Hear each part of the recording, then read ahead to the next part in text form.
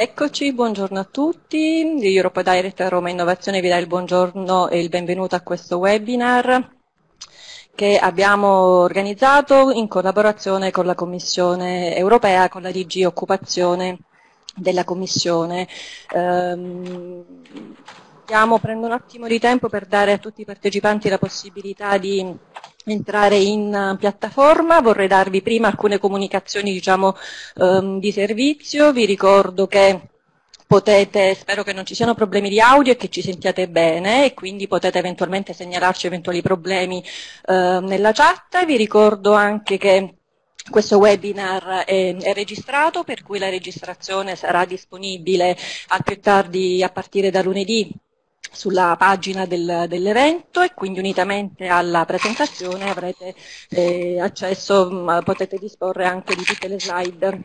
di tutte le presentazioni. Uh, questo webinar lo abbiamo dedicato a un tema assolutamente di grande importanza, anche un tema abbastanza nuovo che è il pilastro europeo dei diritti, dei diritti sociali. Um, è un tema che ci sta molto a cuore, soprattutto sia per, appunto, per la strategicità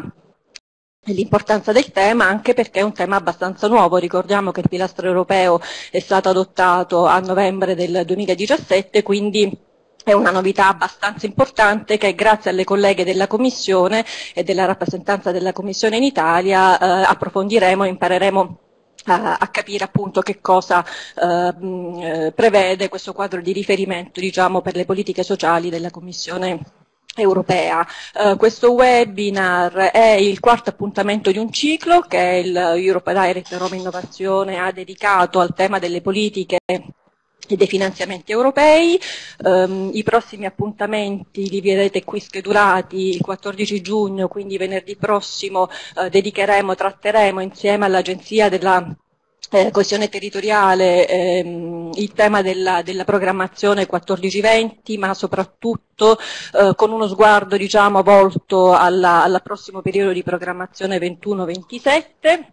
E poi, come vedete, ci sono in programmazione eh, un webinar sui finanziamenti diretti, quindi fondamentalmente sui programmi tematici mh, della Commissione e l'assistenza esterna. Le date sono ancora in programmazione, in via di definizione, quindi ve ne daremo comunicazione pubblicizzeremo eh, appena saranno definite. Eh, vi ricordiamo anche un altro appuntamento che sarà debitamente pubblicizzato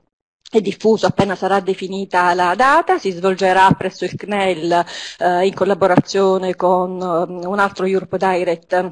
attivo nel Lazio e, e probabilmente si svolgerà um, a inizio luglio, è un dialogo con i cittadini, quindi un evento in presenza in cui, eh, con cui coinvolgeremo eh, i cittadini nella riflessione sul futuro del progetto europeo e quindi fondamentalmente sul futuro del, del, del, bilancio e delle priorità che secondo i cittadini eh, bisogna, questo il, il prossimo quadro finanziario pluriennale dovrà um, avere. Eh, io non vorrei sottrarre tempo al, al, tema, quindi prima di dare la parola alle colleghe della Commissione per entrare nel merito della trattazione del pilastro europeo dei diritti sociali, vorrei rapidissimamente eh, ripercorrere o comunque richiamare, fare una panoramica su quelli che sono gli strumenti che Europa Direct Roma Innovazione utilizza per divulgare e avvicinare quanto più possibile il cittadino all'Unione Europea e quindi per divulgare le informazioni sull'Unione, sulle politiche, sulle opportunità. Come eh, sapete, eh, lo ricordo anche per coloro, per coloro, che fossero nuovi utenti, disponiamo di uno sportello informativo in cui il cittadino proprio ci può raggiungere fisicamente, eh, ho un contact center, quindi siamo raggiungibili anche telefonicamente da lunedì al venerdì per erogare tutte le informazioni e per rispondere ai quesiti che i cittadini possono avere, poi organizziamo attività online come questo ciclo di webinar o attività in presenza, quindi giornate informative su eh, su, su, su, appunto, sulle opportunità sui finanziamenti europei. E poi abbiamo due canali tematici che sono il canale europa.formez.it e programmi comunitari su cui rispettivamente ehm, come dire, veicoliamo tutte le informazioni che possono, in merito appunto alle politiche europee, alle iniziative della Commissione, tutte le informazioni che possono essere eh, di interesse per i cittadini e invece in programmi comunitari le informazioni più specificamente afferenti che riguardano i finanziamenti diretti, quindi eh, i, programmi, i, programmi, tematici. Eh, in programmi comunitari abbiamo proprio delle schede per, per ciascun programma della programmazione 1420 in cui appunto il cittadino può cliccare e avere accesso a tutte le informazioni e anche ai link ai punti di contatto nazionale che per ciascun programma eh, sono previsti per erogare informazioni un po' più puntuali e di dettaglio. Um, eh, abbiamo anche una newsletter um, che eh, con cadenza mensile in cui eh, mettiamo in evidenza le, le, dire, un set di eh, notizie eh, di interesse per i cittadini. Vi ricordiamo che per eh, ricevere la newsletter chi ancora non fosse presente nella nostra mailing list può mh, mandare una mail a europedirect.it per eh, appunto richiedere l'inserimento nella mailing list. Eh, io non vorrei rubare altro tempo prezioso e direi di entrare subito nel, nel, nel, nel merito del, del tema ehm, e quindi darei la parola a Claudia De Stefanis della rappresentanza della Commissione in Italia ehm, per appunto introdurre le sue colleghe della Commissione. A te Claudia, grazie. Grazie Raffaella, buongiorno a tutti, sono Claudia De Stefanis, sono la responsabile comunicazione della rappresentanza in Italia della Commissione europea. Eh, oggi tra il pubblico abbiamo eh, la nostra rete di centri di informazione Europe Direct che mi conosce, ma per chi non conoscesse i compiti della rappresentanza in Italia della Commissione europea sono essenzialmente due quello di comunicare l'Italia in Europa e quindi far conoscere a Bruxelles eh, lo Stato, la situazione politica, economica e sociale del nostro Paese, però dall'altro lato c'è quello di comunicare l'Europa in Italia e quindi far conoscere ai cittadini eh, le politiche, le priorità dell'Unione e anche le opportunità. Eh, a marzo in una riunione dei capi comunicazione eh, a Bruxelles ehm, si è parlato di comunicazione del pilastro europeo dei diritti sociali e ho pensato che sarebbe stata una buona idea ehm, dare l'opportunità anche appunto ai nostri centri Europe Direct e poi si è deciso di estendere anche ad un pubblico della pubblica amministrazione italiana l'opportunità di conoscere meglio, eh? se ne sente parlare ma poi di fatto eh, non sappiamo bene di che cosa si tratti. E invece è un tema eh, importantissimo perché investire nelle persone e rafforzare la dimensione sociale dell'Europa eh, sono praticamente tra le priorità fondamentali della Commissione Juncker eh, sin dal suo inizio e lungo tutto il mandato. Era già eh, indicata questa intenzione di rafforzare la dimensione sociale dell'Europa negli orientamenti politici della Commissione Juncker, quindi all'inizio proprio ancora prima di, di, di essere confermata dal, dal Parlamento europeo e mh, quanto siano stati prioritari, quanto siano prioritari questi due aspetti, investire nelle persone e rafforzare la dimensione sociale dell'Europa, emerge ancora di più dalle recentissime proposte ehm, della Commissione europea relative al quadro finanziario pluriennale, o meglio il bilancio a lungo termine eh, dell'Unione Europea. Proposte che eh, a partire dal 2 maggio, quando è stata pre presentata la proposta generale sul bilancio, eh, sono presentate praticamente ogni settimana e recentissimamente, otto giorni fa, è, un, sono, è, stato presentato un pacchetto di proposte che riguarda proprio eh, temi eh, sociali e che ehm, quindi in parte verranno affrontate oggi ehm, dalle colleghe della Direzione Generale Occupazione, Affari Sociali e Inclusione, Credo proprio che si parlerà di questo nuovo Fondo Sociale Europeo Plus che ha degli obiettivi molto importanti, cioè che le persone abbiano le giuste competenze, che eh, siano dotate, diciamo che la protezione sociale sia adeguata alle nuove forme di lavoro e che le persone che hanno più bisogno eh, godano della solidarietà di cui l'Unione Europea è capace. Questi tre aspetti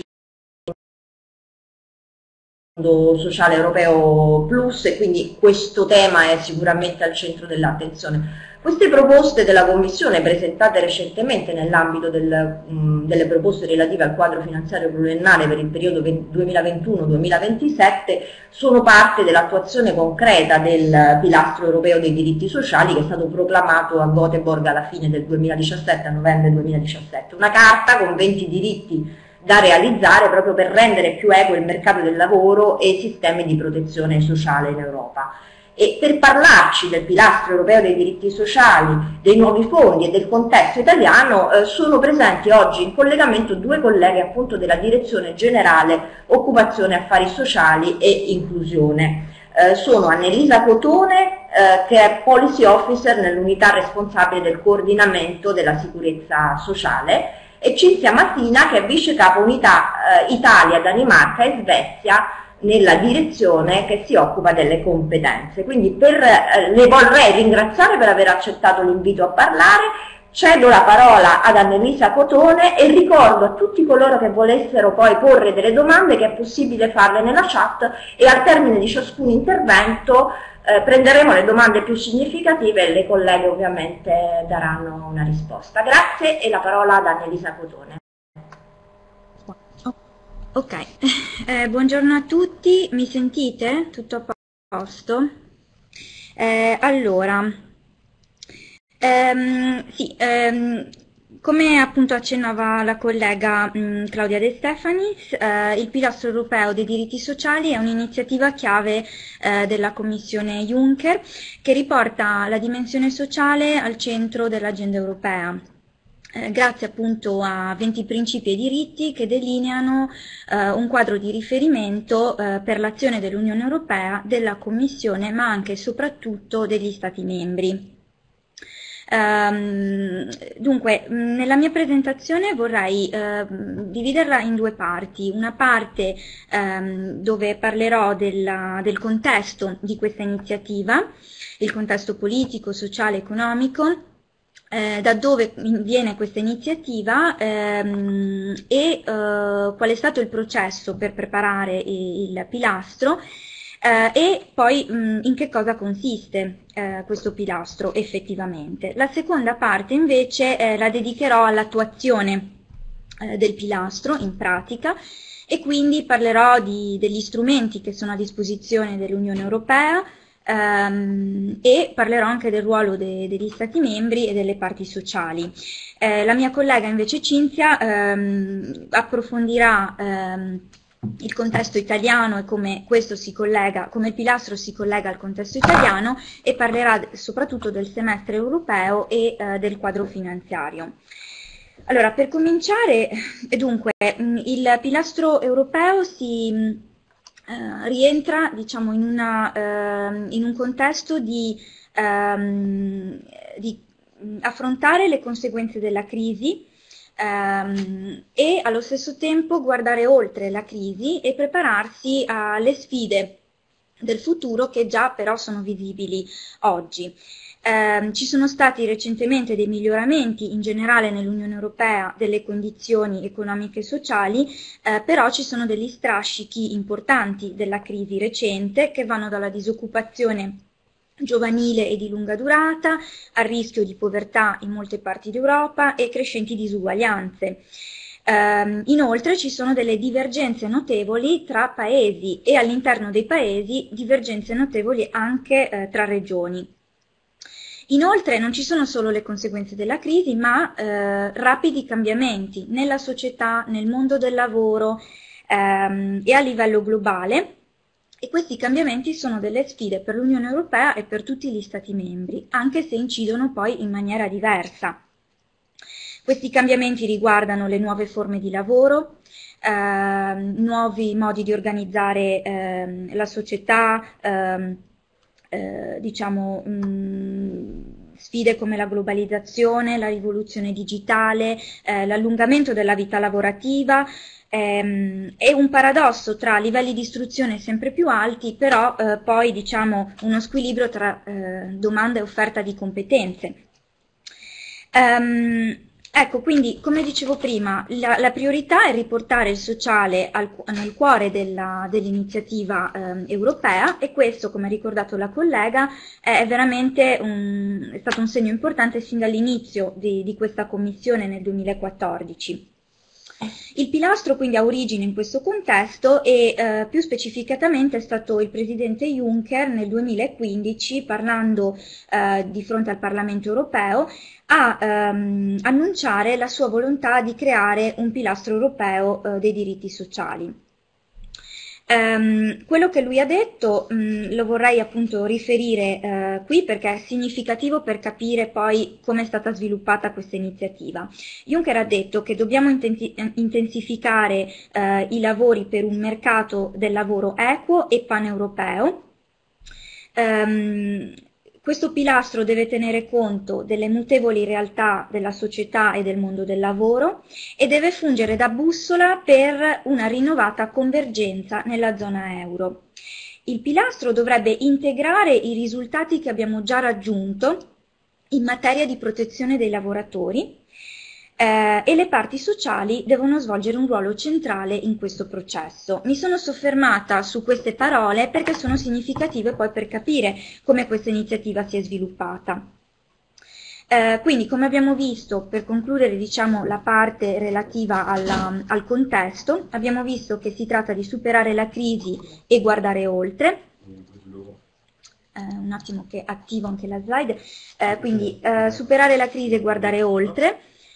Uh, creare un'economia sociale di mercato altamente competitiva e anche un'unione economica e monetaria più equa e più profonda.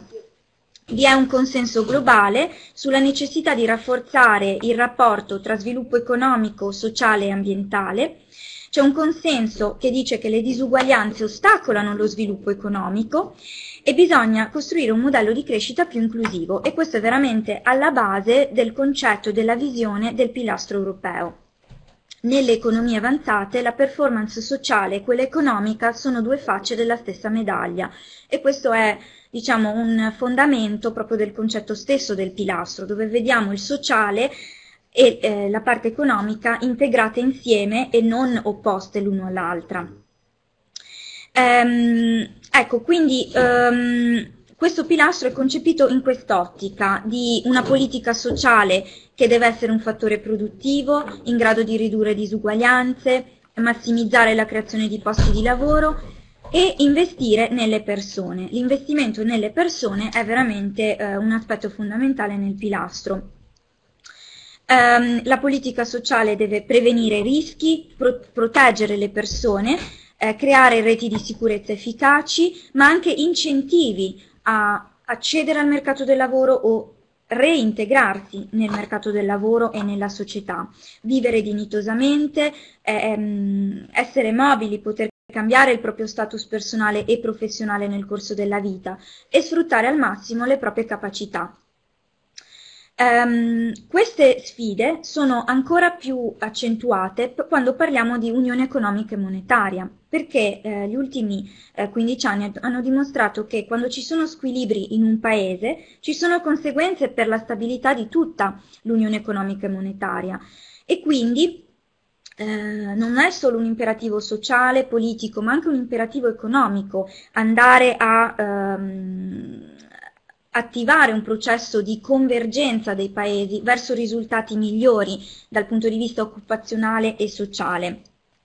Perché se ci sono di divergenze eccessive a livello europeo nei mercati del lavoro e le performance sociali, c'è un pericolo per il funzionamento di tutta la zona euro.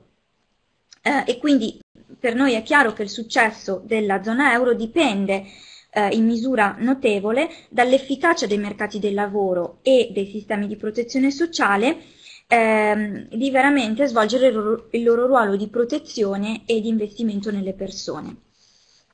Eh, questo pilastro è nell'interesse, questo, questa visione è nell'interesse di tutti perché le imprese hanno un interesse a operare in un ambiente economico ehm, con regole chiare, eh, riuscire ad, ad, attirare lavoratori qualificati e produttivi e adattarsi rapidamente al mondo che cambia. I lavoratori hanno un interesse eh, ad avere un lavoro, un reddito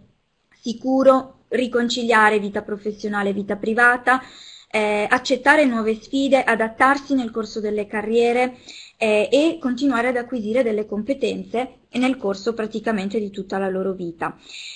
Um, quindi in breve, per concludere questa parte di contesto, una motivazione politica, i cittadini chiedono eh, agli Stati e all'Europa di occuparsi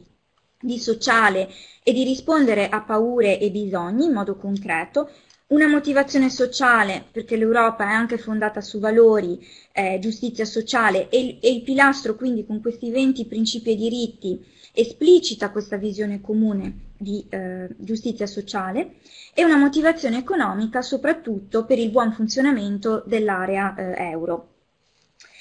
Um, passo adesso al, um, al um, processo che ha portato alla creazione di questo pilastro. Dunque, abbiamo avuto una prima bozza nel 2016 che ha avviato una lunga eh, e intensa fase di consultazione pubblica che ha coinvolto le istituzioni europee, gli Stati membri, autorità ehm, pubbliche a tutti i livelli, regionali, locali, nazionali, eh, anche le parti sociali sono state coinvolte molto e la società civile. Al termine di questa consultazione eh, la Commissione nell'aprile del 2017 ha presentato la bozza definitiva del pilastro ehm, tenendo conto appunto del, dell'input che è stato ricevuto durante la consultazione. La consultazione ha, mm, ha espresso in generale un consenso e un sostegno all'istituzione di un pilastro europeo dei diritti sociali. Eh, allo stesso tempo è stato confermato che le sfide economiche e quelle sociali sono interconnesse e richiedono un'azione eh, coerente a tutti i livelli. Un altro messaggio importante è stato però eh, di rispettare la divisione di responsabilità tra Stati, eh, Unione Europea, Stati, livello regionale e locale. Quindi è stato espresso un no all'armonizzazione delle politiche sociali nell'Unione Europea eh, e quindi mm, un'azione che deve avvenire a tutti i livelli. Um, Ecco, sempre per parlare di processo, dopo eh, l'aprile 2017 eh, c'è stata un'intensa fase di negoziazione a livello interistituzionale che ha portato alla proclamazione nel novembre dell'anno scorso, la proclamazione congiunta del pilastro da parte di eh, Parlamento europeo, Consiglio, rappresentante degli Stati membri, e la Commissione. La proclamazione è importante perché perché eh, dà un segno politico molto importante e forte di unità, eh, di unità eh, e consenso nei confronti di questo insieme di 20 principi e diritti. A seguito di questo, il Consiglio europeo, quindi i capi di Stato e di Governo, nel dicembre dell'anno scorso hanno sottolineato che il pilastro deve essere attuato a livello dell'Unione e degli Stati membri tenendo in conto delle rispettive competenze. Il Consiglio europeo ha anche invitato la Commissione a proporre un monitoraggio del pilastro e questo è avvenuto nel marzo di quest'anno quando la Commissione ha presentato diciamo, eh, un quadro per il monitoraggio.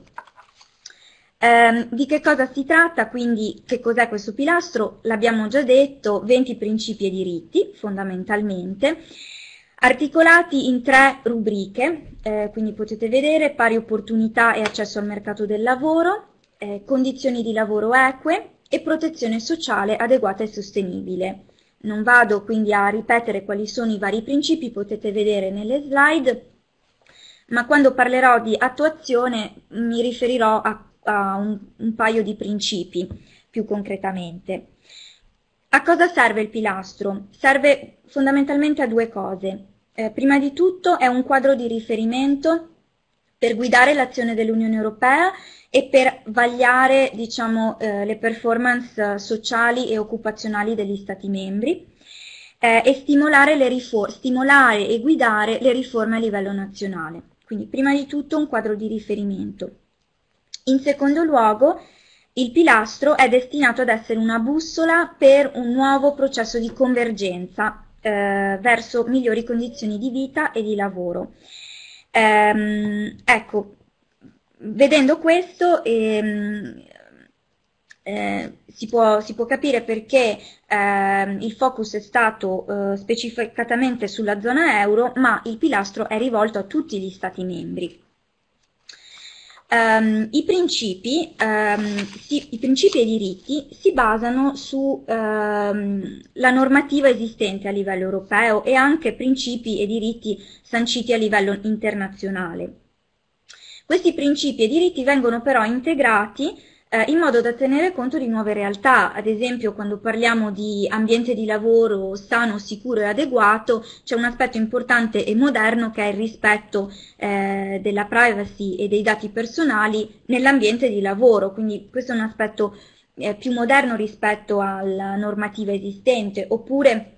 il focus sull'istruzione, la formazione e l'apprendimento permanente, eh, come anche diciamo, la, mm, eh, la, riconciliazione tra vita eh, professionale e vita, eh, vita privata. Qual è il valore aggiunto del pilastro? Il pilastro è un documento relativamente breve che riunisce tutti questi principi in un unico documento ehm, e li rende più visibili, più comprensibili e anche più operativi per cittadini e per coloro che ehm, sono chiamati a, a applicare questi, questi, principi. C'è da dire che eh, dunque il pilastro è stato varato come una proclamazione interistituzionale e quindi è, ehm, è un impegno politico, eh, ma non è un documento gi giuridicamente vincolante, quindi questi diritti e questi principi esistono già nella normativa europea mh, mm, eh, per la maggior parte, ma per, per diventare effettivamente vincolanti ehm, devono necessitare di misure specifiche o atti legislativi o normativi eh, attuati a livello appropriato, possono essere iniziative europee oppure degli Stati membri. Eh, se vi interessa sapere di più su cosa significano i, i singoli principi, eh, qual è la base giuridica, da dove vengono questi principi, che cosa vogliono dire e anche che cosa l'Europa sta facendo su questi principi e qual è il ruolo degli Stati membri e delle parti sociali, noi abbiamo preparato un documento che è disponibile anche in italiano e che descrive veramente, ci sono delle schede per ognuno dei 20 principi c'è una spiegazione dettagliata di che cosa vuol dire eh, e che cosa si sta facendo. Ecco, quindi vi invito, potrei anche circolare questo, questo link eh, dopo la presentazione così eh, per la vostra documentazione. Ehm, ecco, mh, mm, per quanto riguarda mh, mm,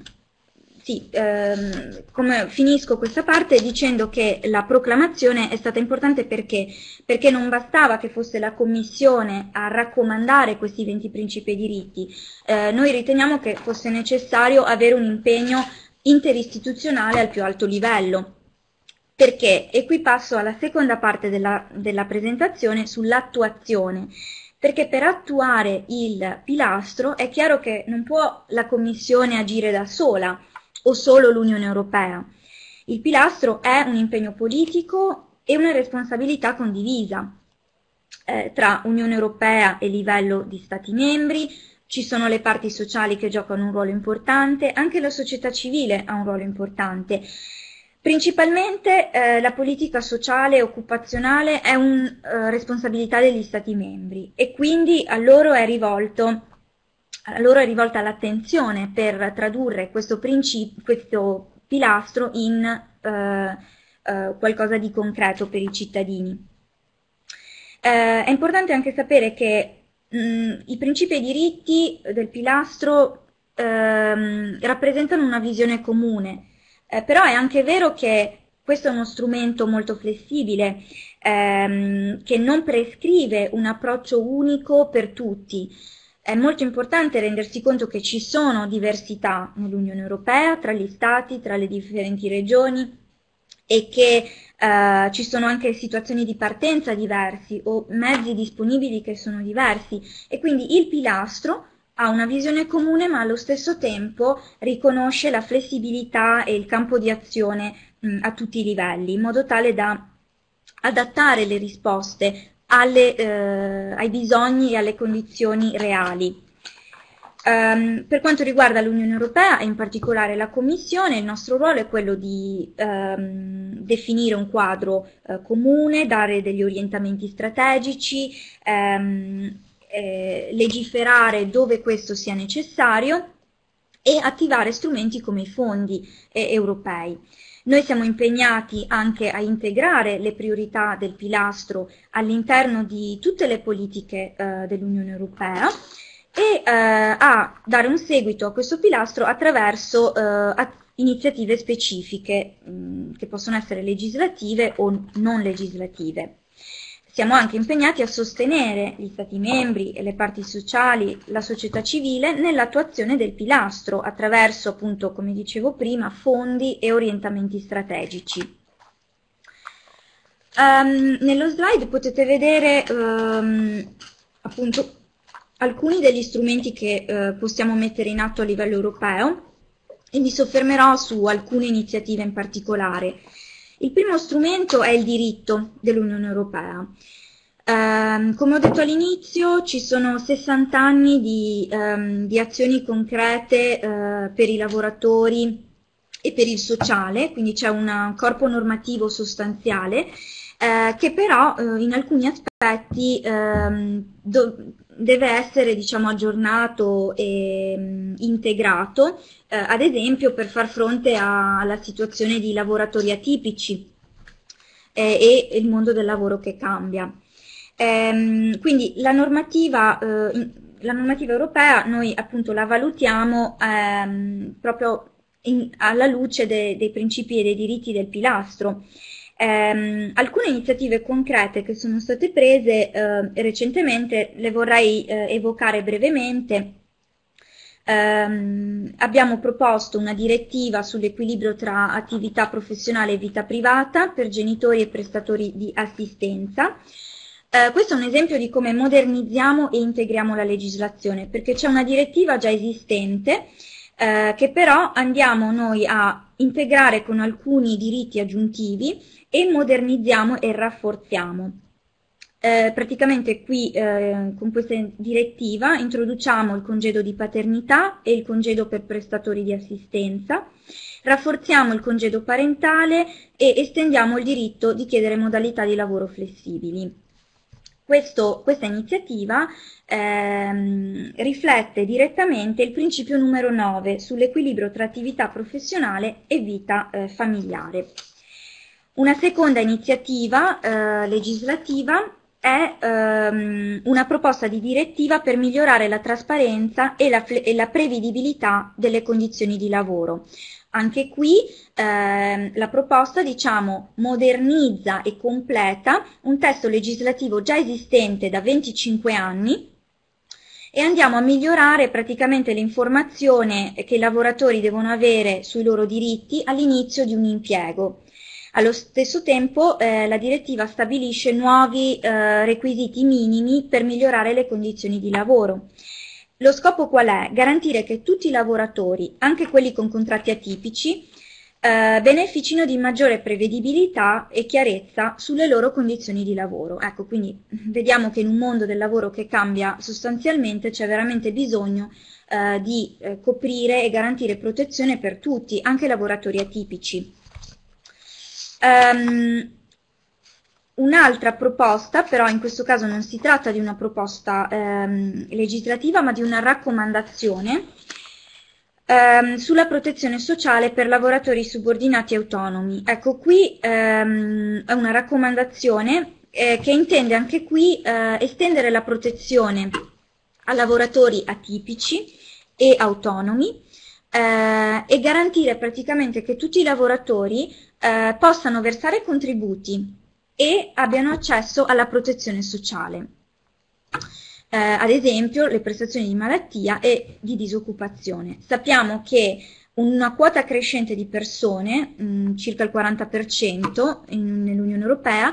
lavora con contratti, eh, con altri tipi di contratti, non a tempo pieno, non eh, indeterminati.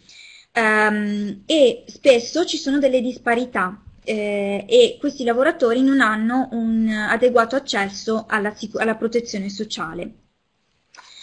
Anche questa iniziativa, come quella precedente non l'ho detto, questa iniziativa riflette direttamente il principio 12 del pilastro. Quella precedente non l'ho detto, ma ehm, si riferisce direttamente al principio 5, occupazione flessibile e sicura, e il principio 7, informazione sulle condizioni di lavoro e sulla protezione in caso di licenziamento. Quindi vedete come una serie di principi e diritti noi li traduciamo in normative. Al momento comunque queste normative si trovano, sono delle proposte e eh, la Commissione europea appunto le ha presentate al Parlamento europeo e al Consiglio e i due colegislatori stanno ehm, negoziando, discutendo queste, queste proposte che, che, speriamo vengano adottate presto così da diventare eh, diritti effettivi per tutti i cittadini. Um, un altro um, beh, un altro importante aspetto della normativa europea è l'applicazione effettiva, cioè non solo creiamo diritti, ma dobbiamo anche applicare quelli esistenti in modo migliore. E su questo fronte la Commissione agisce ad esempio con delle ehm, linee guida sull'applicazione di, di, normative esistenti, come ad esempio sul eh, tempo di lavoro, eh, o più recentemente la Commissione ha presentato una proposta per creare un'agenzia europea, un'autorità europea eh, del lavoro, proprio per applicare in maniera più efficace eh, la normativa europea sulla libera circolazione. Um, passo adesso brevemente a parlare, a accennare solo il semestre europeo e, e i finanziamenti. Dunque, per quanto riguarda il semestre europeo, Qui siamo nel, nel settore degli orientamenti strategici agli Stati membri. Dicevo all'inizio che la Commissione europea ehm, usa il pilastro per eh, guidare le riforme degli Stati membri verso, per, per avere una convergenza verso risultati migliori. E il semestre è appunto lo strumento eh, privilegiato per questo. Perché? Perché eh, il semestre consente ehm, un'analisi approfondita di ogni paese e una risposta approfondita proprio alle sfide che ogni paese ha e quindi permette quella, ehm, quella diciamo, personalizzazione o quella, ehm, quell'adattamento eh, delle, delle, risposte alle eh, situazioni reali dei paesi, mentre la normativa europea è più uniformante. Eh, la mia collega parlerà in particolare del semestre, comunque ehm, sul semestre c'è da dire eh, che un altro aspetto importante è il monitoraggio che il semestre europeo ci consente di fare, anche grazie a um, un nuovo strumento eh, di, di, monitoraggio, mh, mm, si chiama quadro di valutazione, ehm, della situazione sociale che con degli indicatori ci permette di valutare e di osservare nel tempo come la situazione dei paesi si evolve e fare delle, dei confronti tra diversi paesi. Eh, non da ultimo viene il sostegno finanziario, ovviamente ne parlerà di, maggiormente la mia collega, eh, il pilastro è eh, la guida fondamentale per eh, la nuova generazione di, di programmi eh, che la Commissione europea ha recentemente presentato per il periodo dopo il 2020, per investire nelle persone eh, e per maggiore coesione eh, sociale. Un altro punto importante che vediamo anche sli nelle slide è il dialogo sociale, che, eh, a cui la Commissione mh, dà un'importanza fondamentale, eh, anche perché le parti sociali hanno un'importanza ehm, fondamentale nella realizzazione del pilastro. Eh, da ultimo eh, vorrei giusto concludere dicendo che mh, il pilastro europeo eh, non è solo un'iniziativa concreta per affrontare sfide di oggi, eh, ma eh, rientra anche nel dibattito sul futuro dell'Unione Europea a cui accennava la collega all'inizio. Eh, come sapete c'è un dibattito in corso eh, che al più tardi si concluderà l'anno prossimo, prima delle elezioni europee, e ehm, recentemente eh, la Commissione europea ha aperto una consultazione pubblica che sarà aperta per un anno intero, fino al 9 maggio dell'anno prossimo, proprio per chiedere ai cittadini direttamente eh, quale futuro eh, vogliono eh, per l'Unione Europea. Io mi fermerei qui, ehm, vedo se ci sono delle domande. Um. Allora, grazie Annalisa Cotone, scusate intanto riavvio la, la webcam, eh, abbiamo finora ricevuto una domanda di carattere generale, quindi penseremmo di porre al termine di tutti e due gli interventi, se le due relatrici sono d'accordo, perché non riguarda specificamente l'oggetto di questa presentazione, ma potrebbe anche comportare diciamo, una risposta più articolata da parte di, di entrambe.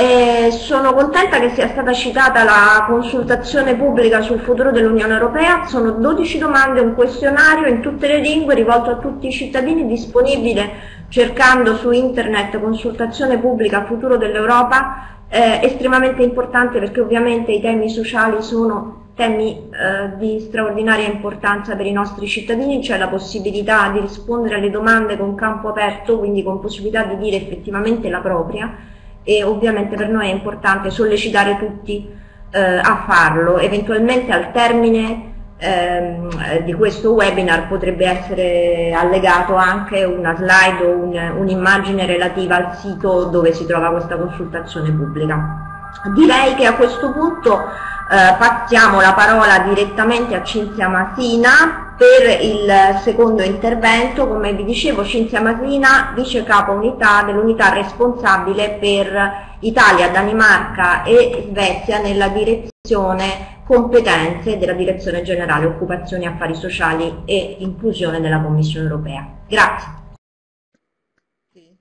Mi sentite? Buongiorno. Non so se mi sentite. State dormendo tutti. Vedo che bene. Ah, Annelisa è stata così brava così che farò fatica a uguagliarla, quindi mi scuoto un po', vedo, vi chiedo domande, vedo che le domande languono, quindi se c'è qualcuno che magari vuole farci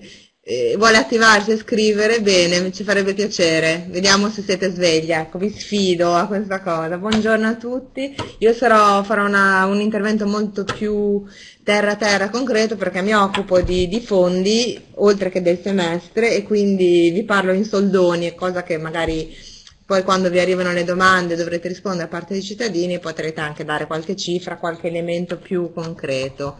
Eh, adesso devo capire come si fa ad andare avanti, questo qua. Sì. Vi ho messo una slide che non è molto significativa, è semplicemente per darvi un'idea della struttura della nostra direzione generale, che è eh, occupazione, affari sociali e inclusione, eh, c'è un signore in mezzo che si chiama Jost Corte che è il nostro direttore generale da qualche mese e poi tante direzioni per un totale di oltre 800 persone. Corrispondiamo un po' al Ministero del Lavoro in Italia e alle agenzie eh, che da esso dipendono come l'AMPAL. Facciamo un po' tutte le cose che fanno ecco, i colleghi in Italia al Ministero del Lavoro.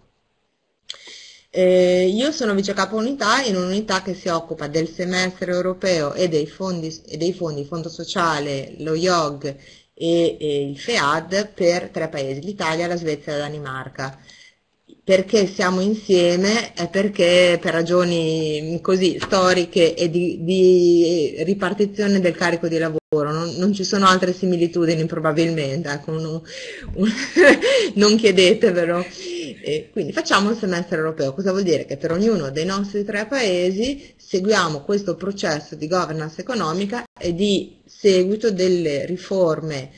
legislative, economiche, sociali eh, in atto in un paese. Da, si chiama semestre perché cominciamo verso settembre finiamo verso marzo ad analizzare tutto quanto di nuovo si è fatto, vedere se corrisponde a quanto eh, l'Europa, il Consiglio europeo, quindi i capi di Stato e di Governo, si erano autoraccomandati in sostanza nel giugno e nel luglio precedente e soprattutto con la legge di bilancio che viene più o meno presentata in autunno in ogni paese e, e con le intenzioni e, e legislative e quanto è in atto appunto all'esame per adozione e poi per attuazione nei parlamenti e, e poi nell'amministrazione pubblica dei, dei, paesi, dei, paesi, membri, quindi noi dei nostri tre paesi. Come funziona questo, questo sistema? Semplicemente che eh, una persona per ogni direzione generale rappresenta in riunioni congiunte eh, dentro la commissione eh, la pro, il proprio settore specifico, quindi c'è la, la, persona degli affari economici, la persona della DG Industria, ci siamo noi, tutte le direzioni generali, ricerca, ambiente, clima, eccetera, e si fa un'analisi appunto settore per settore. E si arriva alla compilazione di un rapporto paese dopo aver sentito le parti sociali, eh, le ONG, eh, le amministrazioni rilevanti con missioni specifiche che si svolgono anche queste alla fine dell'autunno. E si arriva poi con un dialogo continuo eh, da parte tra noi e sempre queste parti sociali eh, all'emanazione di raccomandazioni specifiche a paese, prima in proposta da parte della Commissione e poi dopo eh, in, eh, appunto, adozio, adot, adottate dai capi di Stato e di Governo. quest'anno c'è eh, siamo ancora a un processo appunto intermedio, la proposta della Commissione verteva sulla situazione macroeconomica, quindi l'alto debito pubblico italiano,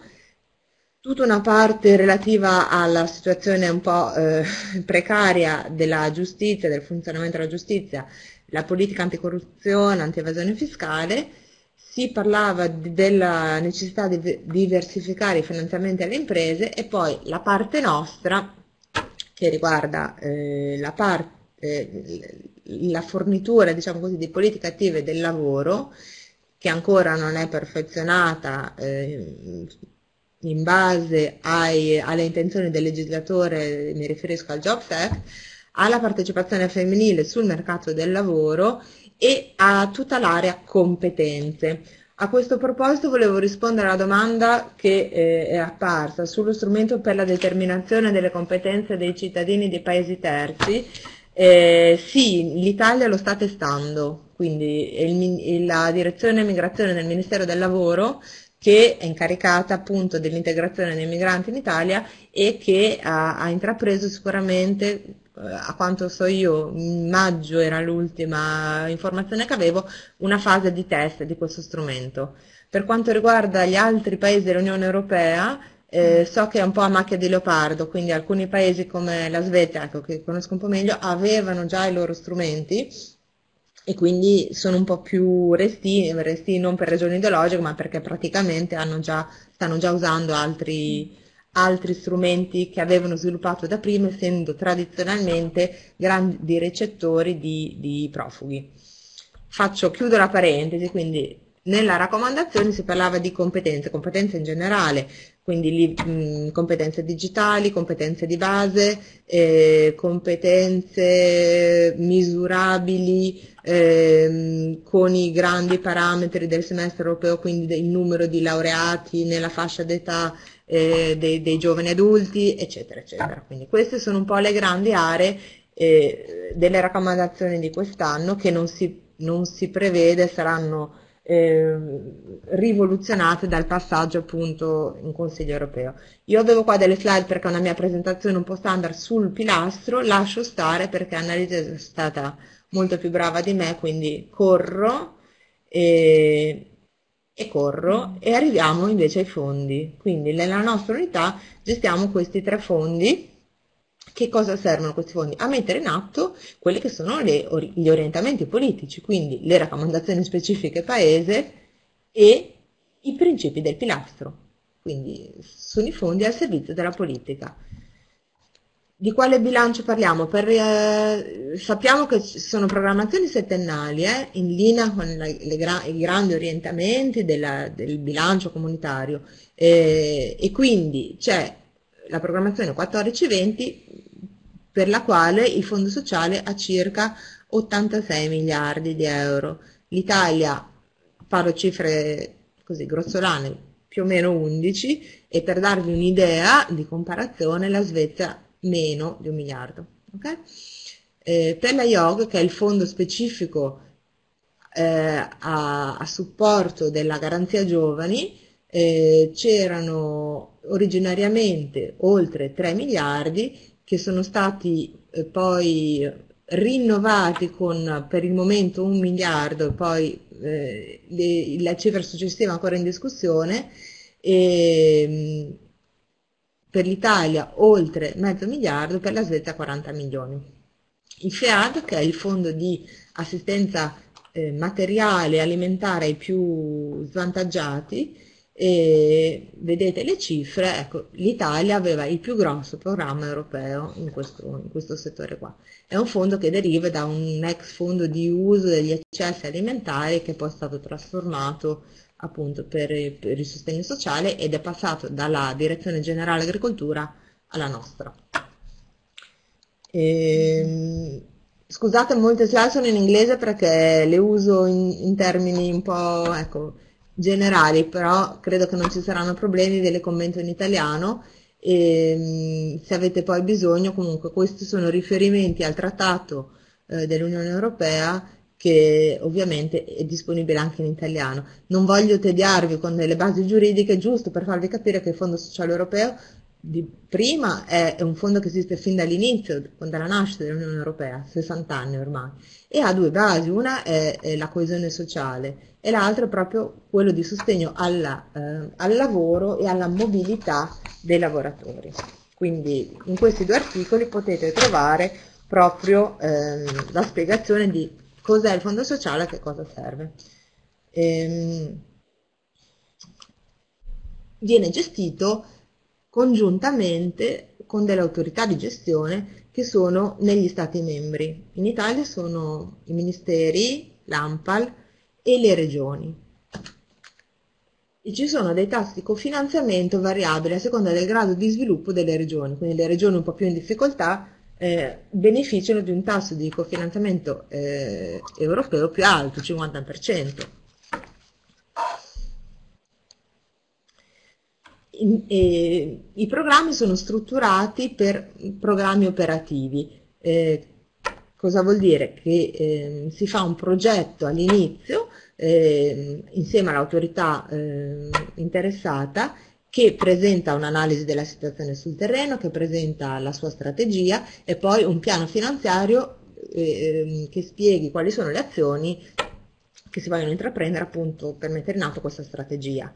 In Europa ci sono 187 programmi operativi, ne abbiamo ben 29 in Italia. Faccio, ho messo la faccina così perché ogni programma operativo, per quanto sia, rappresenta tanta, tanta burocrazia, tanto lavoro eh, di gestione, quindi con 29 programmi devo dire che siamo quelli forse che hanno più lavoro, eh, anche se insomma sia la Spagna che la Germania, che il Portogallo, che la Francia e la Polonia hanno deciso di comunque di prendere la strada di programmi regionali, anche perché eh, le competenze del lavoro e della formazione molto spesso costituzionalmente sono attribuite alle loro regioni ai land, o ai lander in Germania per esempio, quindi ovviamente come in Italia è, e le regioni mantengono questa competenza. Quindi 29 programmi, 21 sono regionali, eh, Bolzano e Trento ne hanno ognuno eh, una perché sono regioni, eh, scusatemi, province autonome, quindi hanno la loro competenza in queste materie. E poi ce ne sono otto nazionali, me li leggo perché mi perdo anch'io, ce ne sono due in capo all'AMPAL, quindi l'autorità di gestione e l'AMPAL, il grande programma nazionale per le politiche attive e eh, il programma per la garanzia giovani. Poi eh, c'è un programma gestito dal Ministero del Lavoro, quello che è il programma per l'inclusione sociale che gestisce il REI, per, per, per capirci, reddito di inclusione sociale, che è già cominciato da, da, qualche mese nella sua fase di sperimentazione ma piuttosto estesa. Ci sono dei programmi che fanno capo all'Agenzia di Coesione Territoriale che sono eh, un programma per il miglioramento della capacità amministrativa, che si chiama Pan Governance, e poi PO eh, Città Metropolitane, che è suddiviso in 14 eh, subprogrammi per ognuna delle città metropolitane eh, incentrato eh, sulla lotta alla povertà per quanto riguarda il fondo sociale. C'è un programma eh, dedicato alla legalità, ehm, gestito dal Ministero degli Interni, eh, in cui si fanno molte azioni eh, di lotta alla criminalità organizzata e eh, di sostegno all'integrazione dei migranti e poi ci sono due programmi del MIUR, del Ministero della Ricerca, dell'Istruzione Università e Ricerca, appunto il programma ricerca e il programma scuola, quindi un quadro molto completo che va a toccare veramente tutti i settori e come vedete molti dei settori che abbiamo evocato prima, con il pilastro e con le raccomandazioni specifiche paesi. Andiamo avanti. E vi ho dato qui i quattro obiettivi tematici in cui eh, si concentra e in cui opera il fondo sociale. Eh, ho messo dei numeretti così perché questi sono, è il codice un po' il, ger il gergo interno che usiamo noi derivante dalla regolamentazione e soprattutto dal, dal regolamento disposizioni comuni e tutti gli altri dal, dall'1 al 7 sono quelli di competenza della DG Regio, quindi dei programmi di sviluppo regionale. E abbiamo quindi i grandi settori, occupazione, inclusione sociale, istruzione e pubblica amministrazione. Sappiate che degli, diciamo, degli 11 miliardi eh, in capo all'Italia per questo settennato, un 20% sono sull'inclusione sociale, un 40% sull'occupazione, un po' più del 30 eh, sull'istruzione e poi ci sono le briciole, diciamo così, per l'amministrazione pubblica e per eh, anche l'assistenza tecnica. Ovviamente in Svezia per la pubblica amministrazione non si spende nulla, non ce n'hanno bisogno, non hanno destinato nessun fondo su questa priorità. Vi, vi parlo appunto sempre della Svezia, mi direte che scocciatura è perché la gestisco, le gestiamo nella nostra età, quindi faccio un confronto che, che mi parla di più e spero che vi parli altrettanto. Abbiamo poi un, eh, un'altra slide che parla di questo fondo specifico IOG che si chiama IEI in inglese e che è un fondo che è stato destinato eh, nel, nel, pieno della crisi come segnale politico da parte dell'Europa per eh, veramente mostrare che l'Europa si preoccupava e voleva fare qualcosa per questa generazione che rischiava di, di diventare una generazione perduta e combattere quindi la disoccupazione giovanile e il fenomeno dei NEET, quindi i giovani che come sapete eh, non fanno nulla, non sono iscritti a nessun corso, non frequentano l'università né la scuola, non lavorano e non sono in, in, in uno stage o in un apprendistato. Quindi è un fondo che si può essere utilizzato solo nelle regioni che hanno un alto tasso di disoccupazione giovanile eh, che era stato fissato al 25%. In Italia erano tutte incluse, fuorché la provincia di Bolzano, e e Trento e il Veneto. Anche se Trento e il Veneto, avendo comunque dei tassi vicini al 25%, alla fine hanno beneficiato di una flessibilità che era insita nei regolamenti e che permetteva alle altre regioni di cedere un 10% delle loro quote. Quindi così è stato fatto no? nella programmazione, quando è stato poi negoziato questo programma unico in cui ogni regione, tranne Bolzano, è un organismo intermedio che ha contatti con noi direttamente comunque. Ehm, e poi abbiamo il fondo appunto che si chiama FEAD, il fondo di cui vi dicevo che serve all'aiuto materiale e alimentare per le persone veramente ai margini della società, le persone che hanno eh, veramente bisogno più di tutti. E ci sono due tipi di programma eh,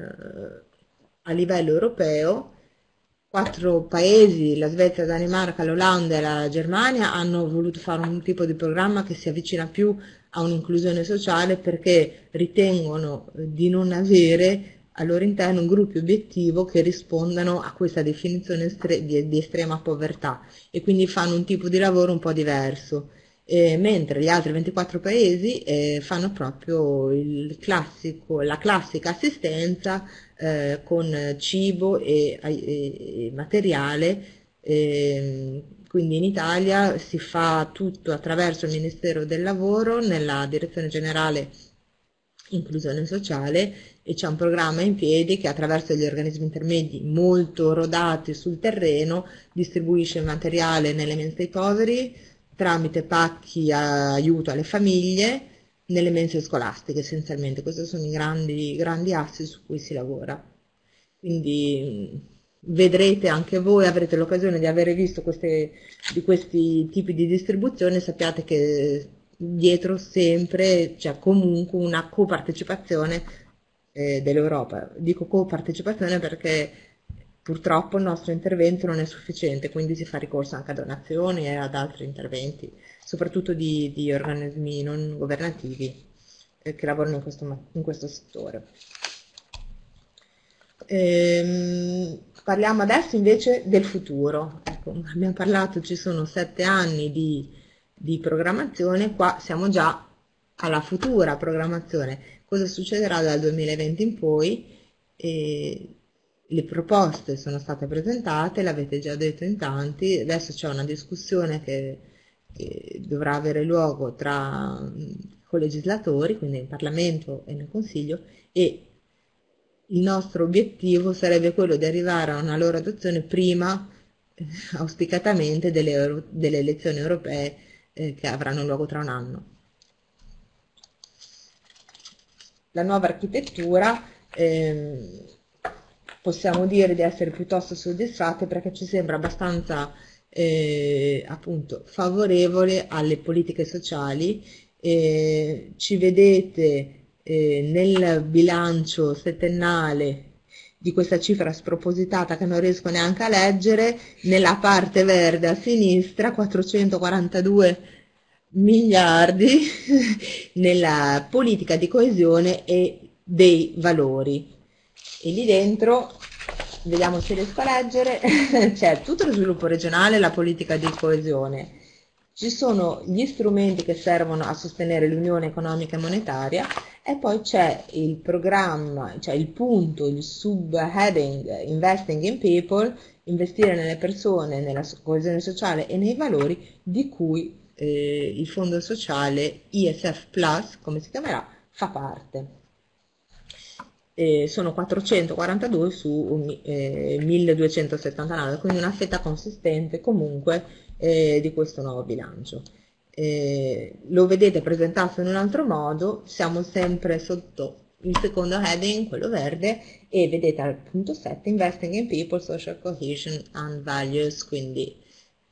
è importante secondo noi sottolineare, c'era stato uno sforzo da parte nostra di influenzare questa proposta, investire nelle persone, far vedere che l'Europa non investe soltanto nei mercati e nelle banche, ma anche nelle persone. Mm e quindi questo legame col pilastro dei diritti sociali, questo impegno eh, dell'Europa per le persone emerge così forse più chiaramente eh, con le parole. Dentro appunto questo, questo cappello, come vedete, ci sono coesione e valori, c'è il punto 5, tutta la politica regionale, eh, c'è il punto 6, la politica economica e monetaria, il punto 7, non c'è solo il fondo sociale più, ma c'è anche il, grande, il grande programma simbolo bandiera Erasmus, Erasmus+, c'è il Corpo Europeo di Solidarietà, ci sono altri fondi più piccolini ma ugualmente importanti che sostengono le politiche di giustizia e c'è il programma di Europa Creativa, eh, tutta la, la parte culturale e mediatica.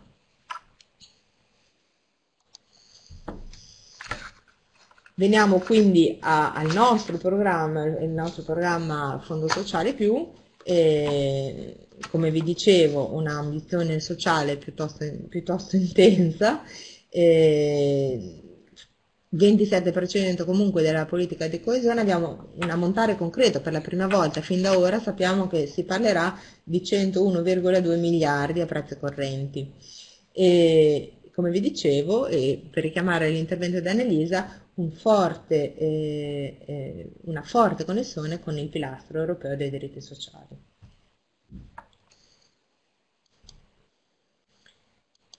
E quindi vediamo che il fondo sociale perché si chiama più? Perché porta insieme, ricongiunge in un intento di semplificazione eh, cinque fondi che finora erano stati suddivisi, cioè il, il fondo sociale tale e quale lo conoscevamo, questo famoso YOG di cui vi ho parlato che serviva e serve per il sostegno della, della garanzia giovani, il fondo per gli indigenti e poi altri fondi un pochino più piccoli che continueranno a essere gestiti in gestione diretta e indiretta da parte della Commissione, eh, l'ex Easy, per quelli che, di voi che lo conoscono, quindi gestioni di azioni pilota o di azioni innovatrici e poi il fondo per la salute che rientrerà in questo grande cappello ma continuerà a essere gestito dai colleghi della DG eh, Salute qui dentro alla Commissione. E, ehm, sarà un fondo più flessibile in quanto la flessibilità tra fondi diversi, per esempio col fondo di sviluppo regionale, sarà aumentata da 10 a 15%, e ci sarà comunque continuato questo legame col semestre europeo di cui vi parlavo fin dall'inizio, quindi le raccomandazioni specifiche paese saranno portate e sostenute dai nostri fondi. Ecco il pilastro, come dicevamo, no? Mm-hmm. E poi un, un'attenzione che viene mantenuta su quelli che sono i problemi dell'occupazione e disoccupazione giovanile, dell'inclusione sociale e l'integrazione dei migranti. E, ehm, quindi c'è una regolamentazione comune a, a vari fondi strutturali, la, il fondo di sviluppo regionale, il fondo marittimo per la pesca e la politica marittima e anche l'AMIF, no, come si chiama in italiano? Ma, boh, non me ne ricordo, comunque il Fondo per la migrazione e l'integrazione. E questi, tutti questi fondi continueranno ad avere una regolamentazione comune e in questa regolamentazione comune eh, sono ribaditi appunto i legami col semestre e con il pilastro. Ci sono delle condizionalità macroeconomiche legate al semestre che sono mantenute. Una cosa nuova che forse vi interessa quando parlerete con, con i vostri interlocutori è quella di sapere che ci sarà una midterm review, quindi una revisione a medio termine, vuol dire che gli impegni per gli ultimi due anni non potranno essere fatti e questi fondi per gli ultimi due anni dovranno essere lasciati, eh, diciamo così, liberi per vedere poi se quali saranno le priorità politiche in quel momento, dopo cinque anni di programmazione, e vedere se è il caso di continuare quella linea o se invece magari le cose sono cambiate nel frattempo. Perché abbiamo proposto questo? Perché si è visto che nella programmazione scorsa abbiamo fatto un po' fatica al momento della crisi economica e, e non c'erano più fondi disponibili perché tutto era già stato impegnato e quindi per evitare di ritrovarci senza fondi per far fronte ad eventuali priorità inaspettate si è deciso di operare in questa maniera. E poi vabbè ci sono dei dettagli un po' tecnici come le, la, la, questione della, della riserva di performance, diciamo così che finora si era pensato di dare un piccolo premio a chi arrivasse a certi obiettivi di performance, ma ha, ciò ha generato parecchie complicazioni a livello proprio programmatico e quindi abbiamo deciso di non, di non continuare con questa, con questa 5%, peraltro che era piuttosto insignificante dal punto di vista finanziario. E, ecco, vi dicevo, c'è un regolamento, questo qua, disposizioni comuni applicabili a tutti i fondi, ci sono nell'ISF Plus vi ricordate il cappello con tutti i vari sottocapitoli, diversi modi di gestione, il FEAD che eh, godeva di una semplificazione piuttosto eh, spinta proprio per il, il suo, la sua natura e il suo modus operandi continuerà a goderne e, avrà, e quindi avrà regole un pochino diverse e più, più semplici rispetto agli altri fondi e ehm, continuità per quanto possibile con gli elementi ancora eh, con gli elementi esistenti. Abbiamo cercato di non stravolgere la struttura regolamentare proprio per permettere di passare da una programmazione all'altra senza soluzione di continuità, cosa che invece molte volte si è verificata quando i mutamenti erano troppo, troppo importanti. Ecco, questi sono gli obiettivi specifici del Fondo Sociale Più, come vedete eh, sembra un po' la ripetizione dei, dei non, non, dei 20 ma di quasi tutti i 20 principi del pilastro. Eh, quindi cosa sosterrà, sosterrà, il Fondo Sociale Più? Questi, questi grandi principi che potete leggere che sono molto molto simili, molto in connessione con quelli del pilastro. Ecco, vediamo un po' qualche, qualche cifra, vi dicevo 101,2 miliardi, di cui 100 per il classico fondo sociale che, che scusate, comprende anche il FEAD e, il, e lo IOG, vedete che qualche, c'è qualche regola, quindi il 25% di questi 100 devono essere destinati a eh, misure di inclusione sociale, di cui almeno 2% per l'ex FEAD per azioni corrispondenti a quelle dell'ex FEAD. Eh, ci deve essere un 10% destinato ad azioni per sostenere i giovani per i Stati membri che hanno un alto tasso di NEET. E poi ci sono piccole, relativamente piccole buste destinate alle regioni ultraperiferiche ad azioni transnazionalità.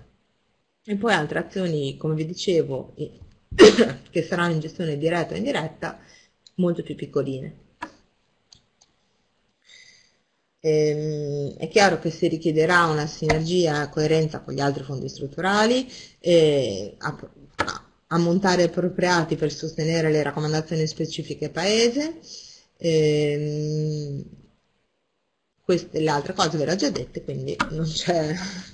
direi Ecco, altro da dire, se non che appunto si continuerà eh, con le azioni tipiche ex FEAD, eh, cibo e assistenza materiale, eh, e direi che non ho altro da dire, ho finito qua, se avete domande siamo per rispondere, ovviamente anche Annelisa è ancora qua di fianco a me, quindi vi, vi ascoltiamo, grazie. Grazie a Cinzia Masina eh, che ci ha dato veramente le, eh, le, ultime notizie che è uscito soltanto otto giorni fa la proposta relativa al Fondo Sociale Europeo Plus, quindi è un quadro eh, veramente beh, recentissimo. E, ehm, allora, noi in realtà domande non ne abbiamo eh, ricevute, tranne quella a cui Cinzia Masina ha già dato una risposta durante il suo intervento, però credo che sarebbe interessante e utile per noi avere una riflessione su come si posiziona l'Italia rispetto agli obiettivi e alle sfide poste dal pilastro, in particolare proprio alla luce del country report e quindi della, del semestre europeo e delle raccomandazioni che sono rivolte al nostro Paese.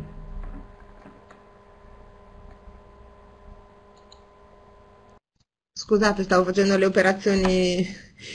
non ho detto in effetti che nel rapporto paese era contenuto quello che Annelisa ha chiamato in italiano con una parola che non mi ricordo, ma anche noi chiamiamo lo scoreboard, da buoni italiani lo diciamo in inglese, e, cioè quadro una, il quadro di valutazione. In sostanza mi dispiace non averlo preso qua, avrei dovuto, ma ve lo posso fare pervenire, è una, comunque è nel, è nel rapporto paese, è una tabellina in cui si riprendono vari indicatori eh, significativi statisticamente a livello europeo e che rappresentano ognuno un principio del pilastro e poi si valuta il paese a seconda della sua performance. Non siamo riusciti ad avere 20 indicatori eh, che avessero una valenza eh, statisticamente significativa a livello europeo, ce ne sono se non sbaglio 11 e abbiamo fatto questo esercizio per tutti i paesi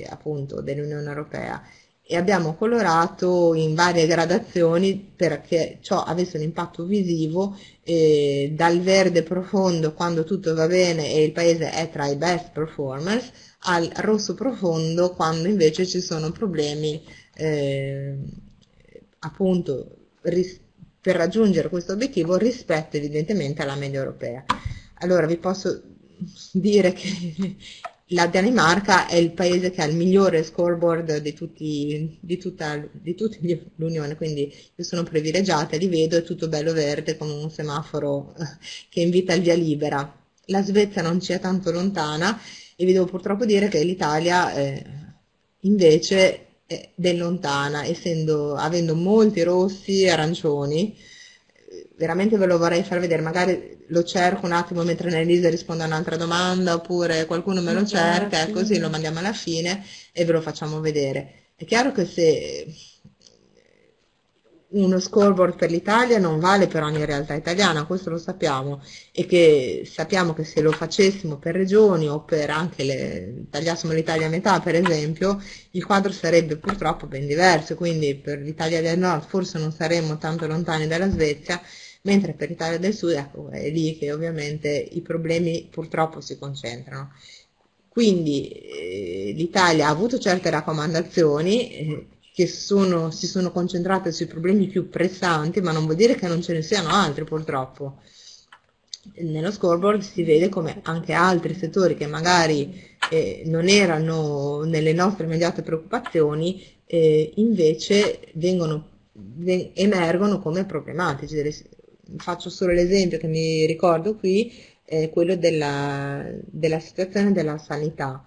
Eh, l'indicatore era eh, basato sulle percezioni, eh, non era basato su elementi misurabili e eh, quindi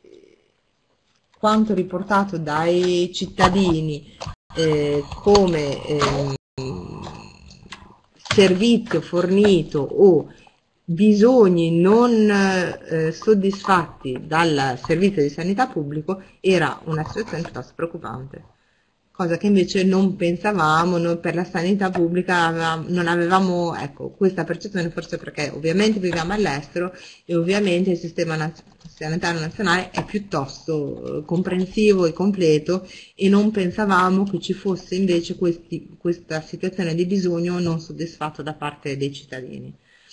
o non a questi livelli, ecco. Quindi questo è soltanto un esempio di, per, che vi dà un'idea di quanto ci sia eh, comunque da lavorare non soltanto su quelle poche in fondo raccomandazioni specifiche paese, ma anche su altri, altri tipi di, di problemi che poi se leggete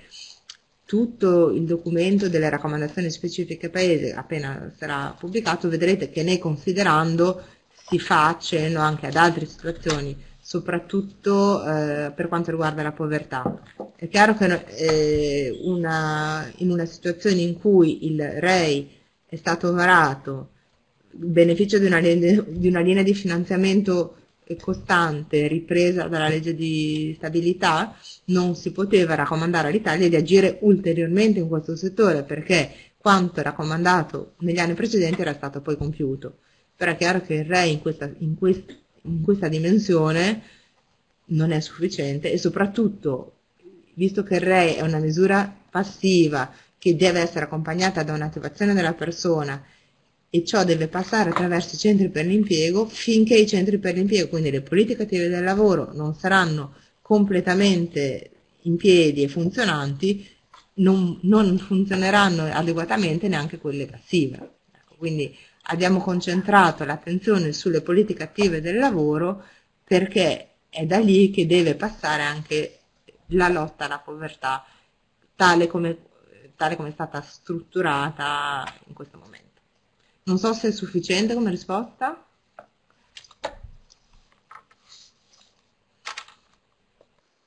Allora, scusate, ma ho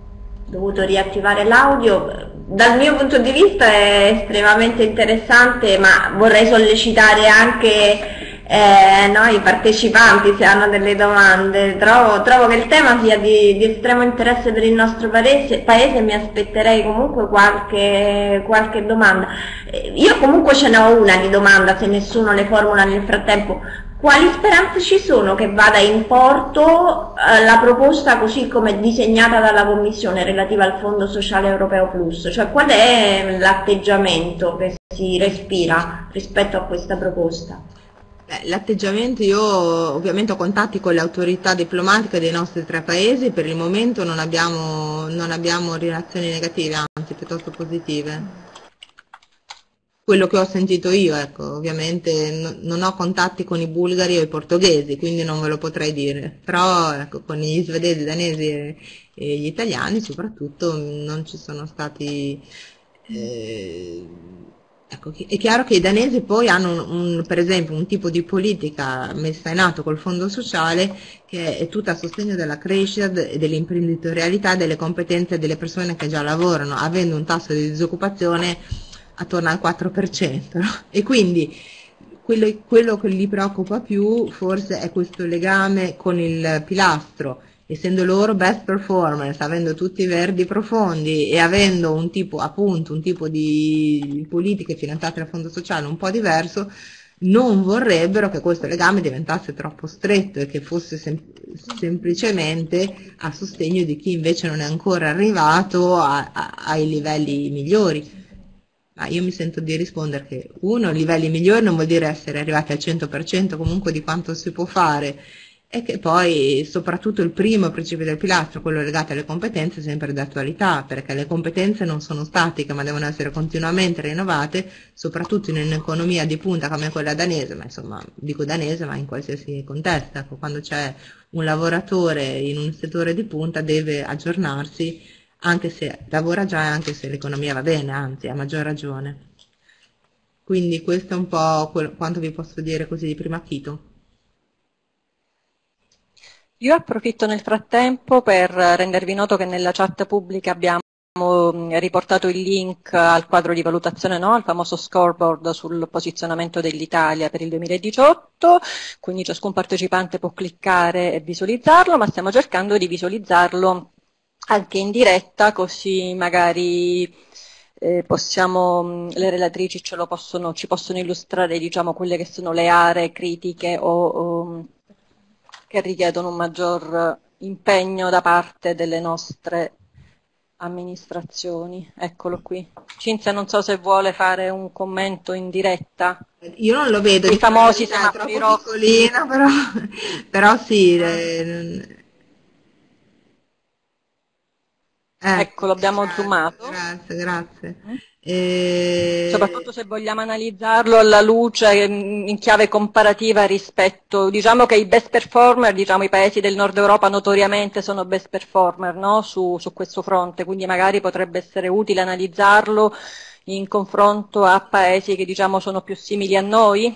Diciamo che non è proprio questo qua, cui pensavo, è un, un, non era contenuto in slide, era proprio un documento, eh, vediamo se questo qua. Sì, questo comunque dà un'idea, sono un po', sono altri parametri, ecco, però più o meno sono, sono questi. Come potete vedere, eh, tra la Danimarca, che è tutto verde scuro, eh, e l'Italia, questo qua, già una prima immagine, i primi tre indicatori che sono tasso di occupazione, tasso di disoccupazione e, e mm, crescita eh, del, cos'è questo qua? Credo del prodotto interno lordo, no. Non riesco a capire che cosa sia questo. Lo sai tu? GDHI, per capita growth. Il reddito disponibile forse, perché? Comunque, anche se guardiamo solo i primi due, ecco, tasso di occupazione e tasso di disoccupazione, vediamo la differenza tra l'Italia e, e, e, la Danimarca, per esempio. O la Svezia, in Svezia c'è un tasso di occupazione che è superiore all'80%. Quindi non è soltanto la gente che non lavora, è anche la gente che non trova lavoro, no? Il tasso di disoccupazione è, si misura con le persone che non sono impiegate ma che stanno cercando lavoro eh, anche il tasso di occupazione, qui quante persone partecipano a far crescere il paese attivamente lavorando. Ciò in Italia è basso anche per gli uomini rispetto ai paesi del nord e vie più per le donne che sono forse all'ultimo, al penultimo livello in, in, in Europa. Il terzo, intanto Annelise mi stava dicendo, in effetti è, la, è il reddito disponibile per eh, famiglia, mm-hmm. per famiglia. Poi sarebbe anche interessante ovviamente vedere l'evoluzione, no? ci sono indicatori che sono migliorati nel, nel, con l'andare del tempo e, e, non dovremmo, ecco, come vi dico, piangere soltanto, ci sono per esempio il tasso di abbandono scolastico è qualcosa che è, è molto migliorato nel nostro paese eh, negli ultimi anni, quindi non, non, è, non, è, necessariamente tutto solo negativo, però la situazione è relativa, è chiaro che la differenza tra, tra l'Italia e altre realtà è piuttosto forte. Non so se volete scendere, che vi commentiamo anche gli altri sotto.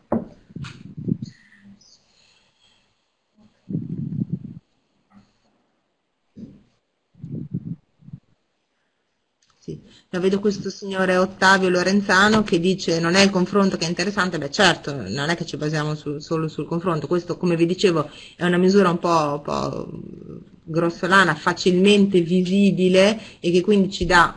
eh, un'idea così di primo acchito, non è questa l'analisi più eh, accurata e, e, e raffinata che stiamo facendo, è un modo per visualizzare quali possono essere i problemi, come vi diceva Annelisa, eh, appunto lo scoreboard vuole aiutarci a una convergenza verso l'alto e quindi si fa un confronto non tanto per dire tu sei bravo, tu sei cattivo, non è questo il discorso, ma cercare di portare tutti verso l'alto. Mm-hmm. Ecco, questo è un po'. Poi è chiaro che, come vi dicevo, ogni paese lo fa a modo suo. Quindi eh, prendiamo un altro esempio, il, il, livello dei salari che garantiscono una vita dignitosa ai lavoratori. Eh, è ovvio che eh, la formazione salariale si fa con modi molto molto diversi da un paese all'altro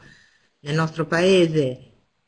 o anche nei paesi scandinavi tutto ciò è rimesso alle parti sociali, le discussioni sulla fissazione, di, per questo che in Italia non c'è reddito minimo per esempio, è un salario minimo scusate, mentre in altri paesi, so, in Francia, il governo interviene pesantemente nelle, nelle contraddizioni e fissa eh, eh, appunto con atti governativi, legislativi eh, i livelli salariali. Quindi per arrivare a, una, a, questa convergenza non si indicano le strade e i metodi da utilizzare, le strade da percorrere, si lasciano liberi gli Stati membri di seguire ognuno il proprio modello sociale eh, Diceva Ottavio Lorenzano, concorda, è una convergenza competitiva priva di coesione nazionale. Eh, beh, insomma, diciamo che poi ecco, eh, continuiamo a valutare anche gli effetti delle politiche nazionali e quindi quando uno degli altri elementi, uno degli altri Ecco, stiamo vedendo qua nello social scoreboard ci sono, cioè l'impatto dei trasferimenti sociali nella riduzione della povertà, i bambini che, di, meno di tre anni che sono iscritti in un sistema di, di, di scolastico formale, l'altro di cui vi dicevo per quanto riguarda la salute, eh, i, bisogni non soddisfatti, il livello di competenze digitali, ci sono sempre gli altri grandi indicatori come i, i livelli di povertà misurati con eh, le, le, percentuali di persone a rischio di povertà o ad, a rischio di povertà e deprivazione materiale. Ecco, quindi ci sono un sacco di elementi che i nostri, soprattutto Annelisa forse puoi dire qualcosa perché lavori proprio su queste, su queste materie, magari le lascio la parola se vuoi commentare su, sull'aspetto ecco, povertà e coesione sociale la lascio parlare. Sì, grazie Cinzia. No, volevo giusto dire appunto che eh, questo, lo, lo, scopo dello scoreboard eh, non è appunto un, semplicemente un confronto di dire ehm, tu fa- stai facendo male, tu stai facendo bene, ma è appunto perché, eh, come dicevo all'inizio della mia presentazione, lo scopo del pilastro e quindi di tutti gli strumenti, come questo strumento colorato che stiamo visualizzando, cioè lo scopo è quello di eh, promuovere una convergenza verso migliori risultati a livello di occupazione e a livello di inclusione sociale. E questo perché, come abbiamo detto prima, ehm, altrimenti c'è un pericolo proprio per l'esistenza stessa eh, dell'Unione Economica e Monetaria. Quindi questo è l'obiettivo originario dell'iniziativa eh, di eh, coordinare meglio l'aspetto sociale alle politiche economiche e quindi eh, osservare l'andamento di eh, indicatori fondamentali a livello appunto di mercato del lavoro e eh, situazione sociale ci permette di anche ehm, personalizzare e eh, focalizzare gli interventi, ad esempio sull'Italia, eh, la mia collega parlava di eh, raccomandazioni paese, quelle servono proprio per eh, indirizzare, guidare le riforme dei, dei vari paesi eh, in base alle loro esigenze e, mh, mm, esigenze e, mh, e anche sfide, difficoltà eh, concrete. Quindi questo è, un, è, uno strumento analitico e non uno strumento diciamo di, di vergogna o di, um, appunto di, di penalizzazione. Perfetto, grazie molte. Io approfitto solamente per segnalare che nella chat abbiamo riportato anche il link al, mm, allo scoreboard, quindi coloro che fossero interessati ad approfondire i diversi indicatori lo possono fare direttamente accedendo al, a, questo, a, questo, link. Uh, Claudia, vedo che c'è un'altra domanda, se la vuoi porre. Sì, eh, dunque la domanda che ci è stata posta e che rivolgiamo alle due relatrici, per il sostegno ai migranti possono partecipare anche associazioni e le call passano soltanto dalle agenzie nazionali e dalle regioni o anche attraverso la gestione diretta? Allora, eh, è chiaro che il sostegno ai migranti, l'integrazione ai migranti si fa un po' mainstream, quindi attraverso tutti i programmi operativi. Per il momento, vi dico, quindi immagino che sarà per il futuro la stessa cosa, attraverso bandi pubblicati sia dalle regioni, che ognuna al loro interno, a seconda dei bisogni, ha dei progetti specifici o non specifici, perché possono essere anche appunto integrazione di persone svantaggiate, integrazione di lavoratori in situazione di mancanza di lavoro, non specificano la provenienza, quindi non ci sono ragioni particolari di, di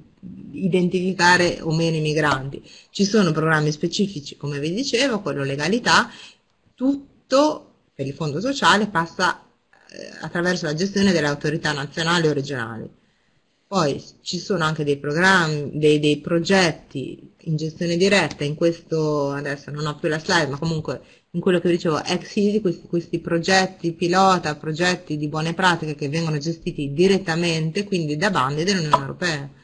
Quindi li, li pubblicheremo, ma non ve ne posso dire più perché non è la mia unità, quindi non sono molto esperta in questo, ma ci sono, ci sono, sì, sì. Anche se ovviamente di importi piuttosto limitati rispetto ai, ai grandi, alle grandi cifre di, di, cui vi ho parlato, ecco, che sono quelle gestite dalle autorità nazionali o regionali in Italia.